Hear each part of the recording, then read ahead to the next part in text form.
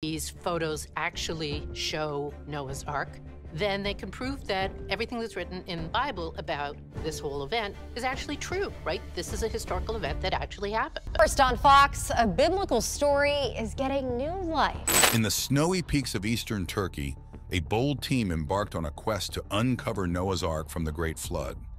Armed with cutting-edge technology and unwavering resolve, they succeeded. They found the remarkable man-made structure dating back 4,800 years. But will this evidence be accepted by the scientists? Can an ancient wooden relic authenticate biblical tales? Join us as we unravel the discovery of Noah's Ark. The discovery of Noah's Ark remains on Mount Ararat. It was an exciting yet freezing day in eastern Turkey as the dedicated explorer team prepared for their mountain expedition. This passionate group of Ark enthusiasts had been searching the icy slopes of Mount Ararat for years, determined to find evidence of Noah's legendary ship from the Bible. The crew was led by Dr. Fatih Ahmed Yüksel, an archaeologist who had been obsessed with uncovering Noah's Ark ever since he was a young boy, listening to stories about the famous biblical boat. Yüksel assembled a skilled team of researchers, archaeology students, expert climbers, photographers, and technical experts. He equipped them with advanced cameras, mapping equipment, and specially designed ground-penetrating radar arrays. I just know if we meticulously scan every inch of the terrain, we'll discover something incredible, Yüksel enthusiastically told his cohort as they planned the search. He was convinced that if Noah's Ark existed, it had to be preserved somewhere up on the freezing, wind-battered peaks. The hardy team spent days hiking up the snow-covered slopes, braving thin air, battered winds, and frigid nights camping as they search for clues. Finally, they arrived at the Duru Pinar site on the Tendurek mountain range. Local tradition held that this was the final resting place of the biblical ship, stuck fast in the mountains of Ararat after the Great Flood ended. As the crew carefully surveyed the hilly terrain, researcher Andrew Jones noticed something sticking out of the snow.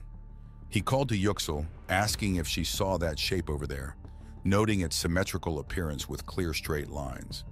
They rushed over to the site with great anticipation.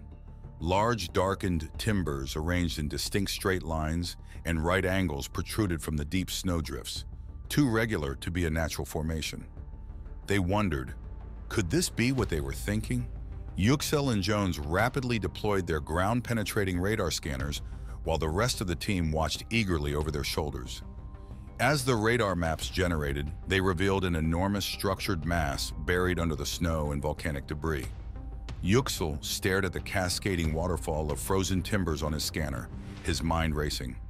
Jones exclaimed that it was approximately the perfect size described in the Book of Genesis. With separate internal compartments and everything, the construction is processed lumber and metal. The team cheered jubilantly, high-fiving and celebrating as their cameras snapped wild photos of each other. After years of determination and effort, had they discovered the remains of Noah's legendary Ark, Yüksel and Jones rushed to spread the word, contacting local Turkish museums and British media outlets to reveal their remarkable discovery. Yüksel excitedly told reporters that the formation simply wasn't natural, that it perfectly matched a massive, compartmentalized, ancient wooden marine vessel. It could well be Noah's Ark itself. Meanwhile, the crew carefully extracted fragments of the timbers and metal components from the snow to send for laboratory analysis. Radiocarbon dating of the materials yielded staggering results. The wood and metal relics were approximately 4,800 years old. This meant the giant ark remnants they had uncovered high on Mount Ararat could have plausibly been constructed and utilized by Noah himself right around the commonly accepted timeline for the Great Flood between 5000 and 3000 BC. Yüksel told his excited team that it aligned flawlessly with the biblical chronology and that the pieces constituted the first real physical evidence that Noah's ship in the flood truly existed, just like scripture described. The electrifying news quickly spread across the globe, making international headlines and stirring intense debate. While many Christian organizations celebrated the discovery as proof that biblical history was real, skeptical scientists had their doubts. The famous evolutionary biologist Dr. William Denvers, in a heated television interview, argued that simply finding old wood on a mountain does not constitute definitive proof of anything. While the results were promising, the world awaited more concrete evidence from Yüksel's team to validate such an extraordinary claim. Regardless, Dr. Yüksel and researcher Jones were thrilled they could potentially unravel at least a portion of the centuries-old mystery surrounding the existence of Noah's Ark. Further study of the surprising organic artifacts extracted from the frigid depths of Mount Ararat may indeed reinforce the hypothesis that these remains originate from the fabled biblical lifeboat itself. For now, the tireless explorers kept the precise location of their precious discovery completely confidential.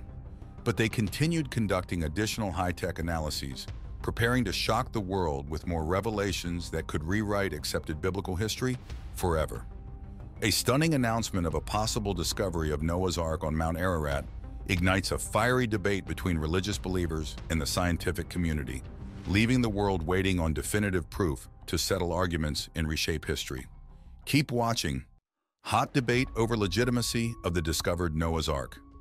As soon as Dr. Yüksel and Andrew Jones publicly announced their alleged discovery of Noah's Ark remains on Mount Ararat, it became the top story in news outlets across the globe.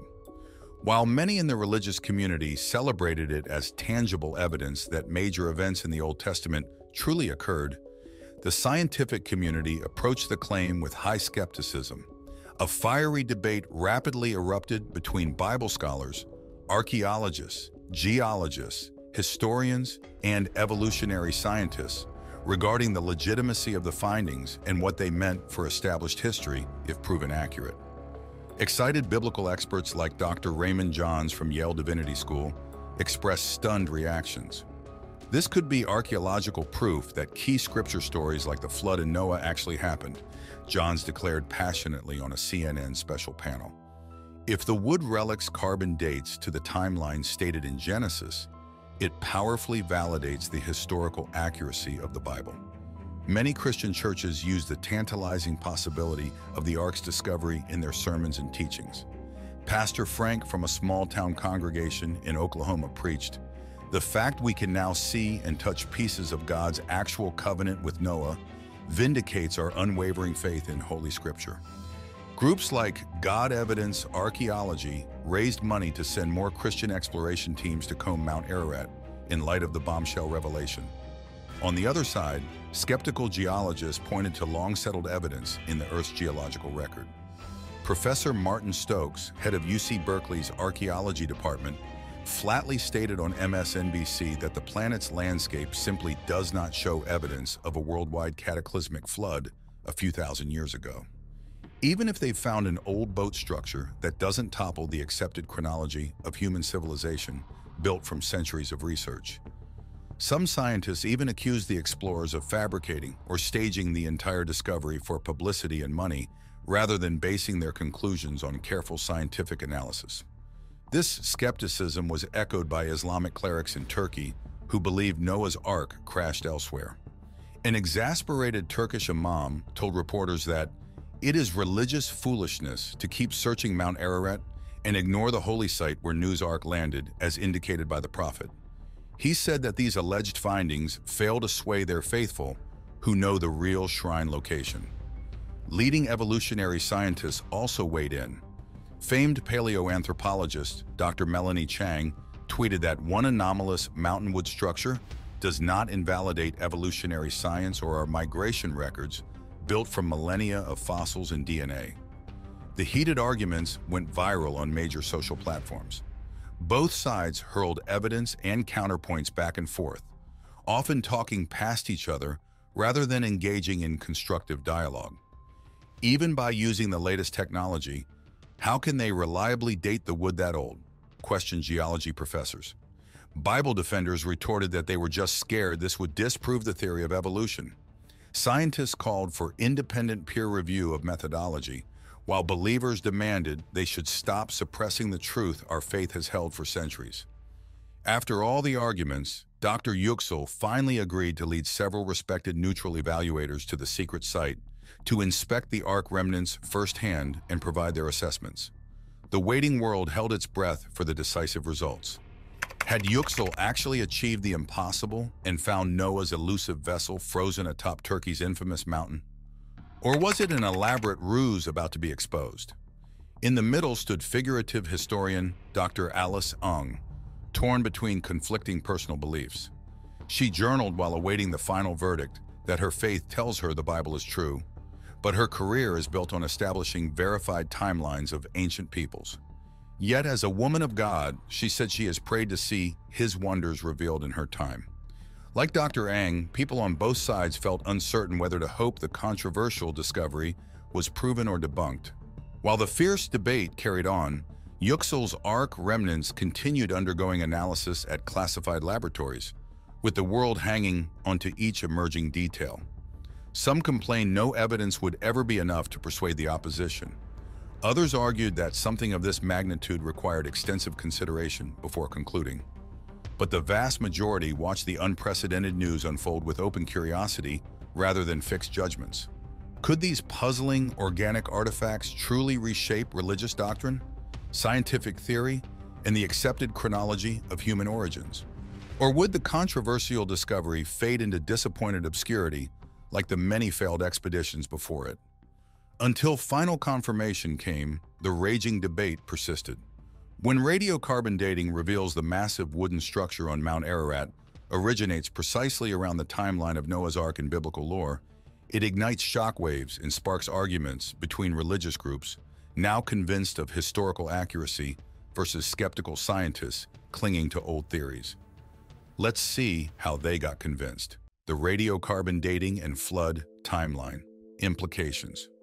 When Dr. Yüksel and Andrew Jones revealed the stunning discovery of the massive wooden structure, remarkably similar to Noah's Ark's biblical descriptions, the entire world was captivated.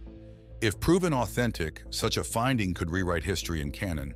But for religious and scientific acceptance, the remnants required rigorous verification beyond a reasonable doubt. The first crucial validation test came when Yüksel transported carefully extracted fragments of the ancient wooden beams and other organic materials to certified radiocarbon dating laboratories under strict confidentiality agreements. This analysis would determine the component's age by measuring residual carbon-14 isotope levels with higher precision results than previously possible. After tense weeks of waiting, the lab results sent shockwaves across the globe. Based on the carbon decay signatures within the organic samples, the wood and other materials were dated to approximately 4,800 years old. According to these analytics, the giant weathered timbers originated from around 2 to 800 BC, plus or minus several generations for error margins. Yüksel revealed reverently during an explosive televised interview that these timbers predate even the oldest structures known, and the flood timeline stated in scripture was between 5000 and 3000 BC. That overlap is too compelling to dismiss. In other words, the carbon-dated wreckage found high on Mount Ararat could have plausibly been built and sealed by Noah himself around the traditional date ranges associated with the Great Flood cataclysm. Biblical scholars were stunned at the implications. Dr. William Jennings, a prominent Old Testament professor, affirmed that if the laboratory carbon measurements are accurate, then these organic remains definitively place the origins of the structure smack during the narrow window that Genesis cites a worldwide disaster occurred. The coincidence is astounding. Like Dr. Jennings, theologians race to re-examine Genesis passages describing Noah's vessel dimensions and materials as the lab results gained acceptance in religious circles. Could this scientifically validated discovery mean all the biblical history tied to the Ark even the Great Flood itself, were actual records rather than metaphors. Across churches worldwide, pastors passionately reinforce to their congregations that science and carbon dating now demonstrate their scriptural teachings to be historically true. Of course, several skeptical scientists push back against the dating methodology and conclusions. The lead geologist who had dismissed the initial Mount Ararat structure findings argued that he needed more proof the samples weren't contaminated Establishing accurate carbon decay curves over millennia is still more art than science. He demanded a review of the entire analysis process for procedural gaps. Others reluctantly accepted the carbon dating accuracy itself, but still rejected the implications. A cluster of anthropologists wrote in Times magazine that so they found old wood, but that alone does not definitively prove this structure is Noah's mythic vessel described in the Bible. nor does it confirm legendary accounts of a global deluge. These experts clung to long-held records of gradual Stone Age societal development. A particularly vocal university biologist even loses his tenure for repeatedly blasting his colleagues in journals, writing that it is ludicrous his scientific community accepts these carbon dating results as valid when his career is built on gradual speciation models. Passions around the stunning revelations ran deep, with careers and reputations at stake. As fiery arguments raged on in academia and the media over the radiocarbon findings, Yüksel's team tried to maintain neutrality. The lead archaeologist responded when accused of religious motivation, saying they make no claims on what this all means, only that they discovered an anomaly begging further investigation using best practices. Still, Jones quietly admitted to chaplains that lab date alignments with flood chronology certainly surprised them. What mattered most was that the calibrated carbon dating had enabled the seemingly impossible by narrowing down the age of the mind-blowing Mount Ararat structure to precisely the biblical era of Noah's Ark itself. Whether wholesale acceptance of the results flowed rapidly or reluctantly, radiocarbon analytics brought global attention from faith circles and academia. The quest for definitive answers had only just started. When Dr. Yüksel reveals finding Noah's Ark remnants on Mount Ararat but refuses to disclose their coordinates, it sets off a fiery clash between impassioned biblical defenders shouting proof of scripture confirmed versus dubious academics, branding it inconclusive as the world waits on tenterhooks for the secret location. Debate over the secret location of the Ark's resting place. When Dr. Yüksel and Andrew Jones revealed their astonishing discovery of Noah's Ark remains on Mount Ararat, the world desperately sought more details. But the explorers guarded the precise coordinates of where they had detected the massive artifact, emerging from glacial debris. They feared a rush of unqualified visitors could damage the site. Still, speculation exploded over whether they had truly pinpointed the legendary vessel's landing spot from Genesis, and by extension, confirmed the flood epic itself. According to the book of Genesis, after rain ceaselessly drenched the earth for 40 days and nights, the raging floodwaters gradually receded to expose dry peak tops, where Noah's massive ark ran aground on the mountains of Ararat. While the exact resting place remained hidden for centuries, a body of tradition gradually settled on Turkey's Mount Ararat itself, the tallest peak in the entire Ararat range within ancient Urartu kingdom borders. When Yüksel referenced detecting an enormous ark-like form on Mount Ararat, millions connected the dots. This supported nearly two millennia of beliefs that the biblical mountain must have been the scriptural vessel's final resting place. Leading Old Testament scholar, Father Etheridge, expressed on his popular podcast that by actually discovering Noah's ship wedged on remote Mount Ararat, just as always believed, it powerfully roots Christian doctrine in demonstrable historical truth. Across Sunday sermons worldwide, pastors reinforce to nodding congregations that this wonderful news should strengthen their faith. Experts located Noah's lost ark precisely where their teachings place it. Even the conservative theological society that once revoked Yüksel's membership for exploring evolution theories swung full circle to praise him, stating that they have brought honor to them all before God.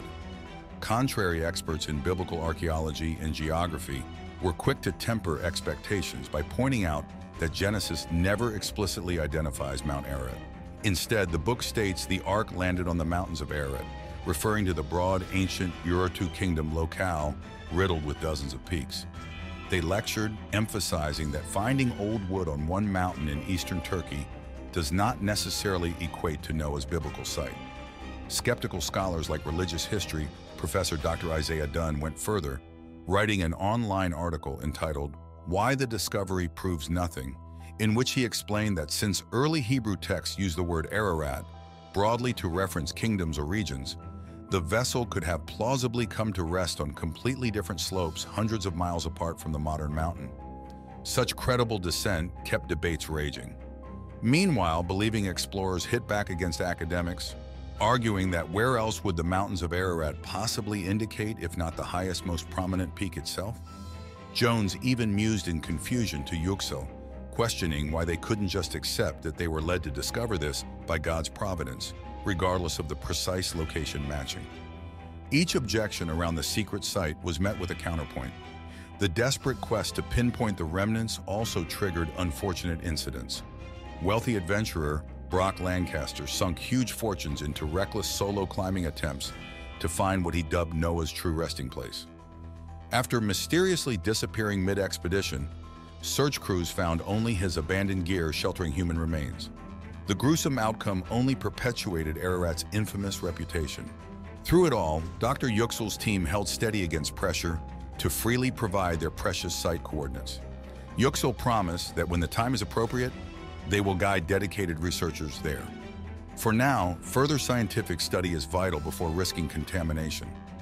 As debates flared about localization assumptions, the place where an apparent man-made relic matching Genesis details lay frozen would remain confidential, an explosive secret protected from future revelation. When God warns righteous Noah of plans to flood the corrupt world, divine instruction to build a vast life-saving ark spawns an enduring saga of belief versus doubt that resonates through Jewish, Christian, and Islamic faiths for millennia. Let's hear the story, the biblical and Quranic accounts of Noah's Ark. The story of Noah's Ark is one of the most captivating tales that cuts across several major religions, Judaism, Christianity, and Islam. For centuries, the dramatic account of the great flood that swept the earth and Noah's divinely inspired construction of a giant vessel of salvation has left imaginations stirred and questions swirling. The earliest mention of Noah's watery adventure can be found in the book of Genesis in the Hebrew Bible. As the biblical story goes, God was profoundly distressed by just how immoral and corrupt humanity had become in that age. People turned their backs on their creator, violating codes of ethical conduct at every step, and generally being downright nasty to each other. Massive chaos reigned. So God made a call that still packs an emotional punch today. The civilization would need to be power washed and rebooted. Amidst all the wicked souls walking the earth during this time, one man, Noah, stood out as righteous and blameless before God. When the Creator shared the cataclysmic plan for an epic flood designed to wipe the slate clean and try humanity again with Noah, he instructed him to get to work on building a massive boat that could house Noah's family and a male and female of every kind of living creature.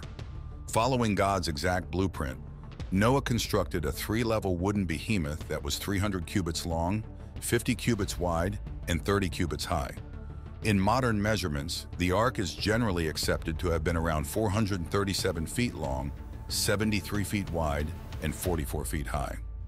Even by today's shipbuilding standards, Noah was tasked with creating a mind-bogglingly gigantic ocean-worthy vessel using available materials and technology centuries before the glory days of ancient Egypt. As described in Genesis, God provided Noah with exceptionally detailed instructions on how to construct what was essentially the world's first floating zoo. The three-story ark was designed to have rows upon rows of rooms with beasts on the bottom level, humans in the middle, and birds up top. It was to be sealed inside and out with pitch to make it completely waterproof. There was to be an 18-inch opening running around the perimeter of the top deck and a large door was set into the side. As incredulous as it all seemed, Noah did not buckle under the weight of it all. He had total faith that if God commanded such a challenging feat with the expectation that a catastrophic flood was imminent, he would find a way. Noah assembled his three sons, wives, and sons' wives and gave them their marching orders to get the materials and start building. Scripture notes that the enormous project took around 75 to 100 years to complete. In that time, as Noah and his family sawed, hammered, and hoisted, his neighbors mocked and chided them for dedicating their lives to such a preposterous task. How could there possibly be enough water in the world to flood the entire planet? But Noah kept calm and carried on until God gave the word it was time to start loading creatures, great and small, through the ark's side entrance. Seven days after Noah, his relatives, and the animals were all safely inside, the floodgates opened. Literally, torrents of rain poured from the heavens while colossal subterranean reservoirs burst open, shooting pillar-like jets of water miles into the atmosphere. For 40 nail-biting days and nights, the precipitation continued relentlessly. Before long, even the loftiest mountains were submerged under almost 30 feet of water.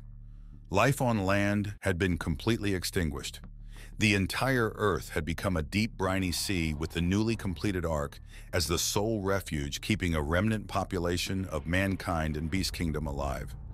Inside, Noah, his family, and all the creatures rode out the storm for five long months before the violent tempest finally calmed and the water level steadily receded. Grounding atop one of the peaks of the Ararat mountain range between modern-day Turkey and Armenia, the dazed passengers emerge from the Ark as the new ancestral fathers and mothers of humanity. In the Muslim tradition based on passages in the Quran, Noah went on to become revered as the second Adam and lived for another 350 years after his feet touched dry land again. The Quran, the central Islamic holy text, contains more than 100 verses centered on Noah. However, in Arabic, he is referred to as Nuh rather than the traditional English translation of the biblical name. The Islamic depiction of Nuh aligns closely with the Genesis narrative with a few variations, chiefly the assertion that Nuh and his companions floated in the ark for closer to six months.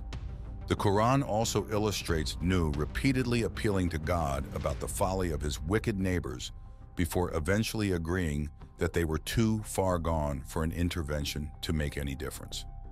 The holy books of all three Abrahamic faiths, Judaism with the Torah, Christianity via the Bible's Old Testament, and Islam through passages in the Quran, cement the enduring legacy of Prophet Nuh Noah. Though millennia have passed, the account of a faithful servant of God building the impossible at the Creator's command to rescue the purest of life on earth continues to capture hearts, imaginations, and headlines today. For as many unanswered questions as there are surrounding the veracity of the Great Flood and the real fate of that history-altering ocean-going vessel, one universal truth persists from Noah's white-knuckle voyage. With sufficient faith, all storms can be weathered. When God burdens devoted Noah with building a massive lifeboat for land creatures based on cryptic instructions, it spawns electrifying theories from scholars reconciling perplexing logistics like cargo tons, animal space needs, and even waste removal for the lengthy tempest. Puzzling details and practicalities of the Ark. As unfathomable as the epic of Noah's Ark may seem, visionary thinkers throughout history from varied backgrounds Theologians, mathematicians, naval engineers, and more have attempted to make sense of the mind-boggling practical challenges of Noah's divine assignment. How could such a small group construct a ship over four football fields in length using Bronze Age tools? What kept thousands of wild animals from stampeding in close quarters for months? Did ancient Israelites truly grasp shipbuilding on a scale to create an ocean-worthy vessel longer than the Titanic? Questions swirl, but theories and clues continue to arise that lend credibility to aspects of this biblical vessel that captured imaginations for millennia. While scant details on day-to-day -day life aboard the massive lifeboat survive, Genesis describes Noah receiving shockingly precise instructions directly from the Creator on the raw construction specs for the three-story wooden behemoth. Relying on the common cubit measurement of the era derived from the length of a man's forearm from elbow to fingertip, God commanded the following estimated dimensions. Length, 300 cubits, or approximately 450 feet. Width, 50 cubits or 75 feet. Height, 30 cubits or 45 feet. Additionally, the ark was to consist of three decks divided into chambers and a sohar. The Hebrew term sohar has perplexed scholars for ages.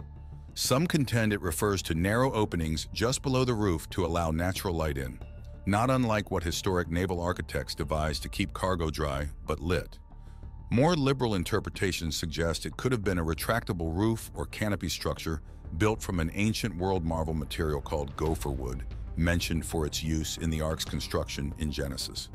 By analyzing these details alongside advanced digital modeling, nautical enthusiast Tim Lovett argues that Noah's Ark could have been built to be completely watertight.